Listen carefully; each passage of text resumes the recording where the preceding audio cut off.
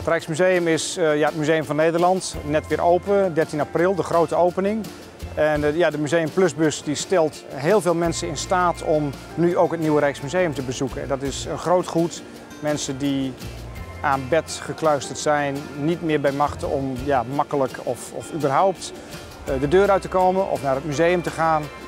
die worden geholpen om nu ook het Rijksmuseum te bezoeken. En dat is echt hartverwarmend.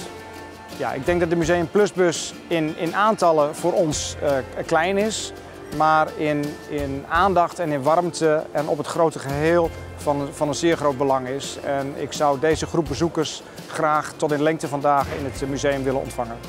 Nou, het is dankzij de Bank Giro Loterij dat deze vergeten doelgroep uh, alsnog in staat wordt gesteld om ook het museum te bezoeken.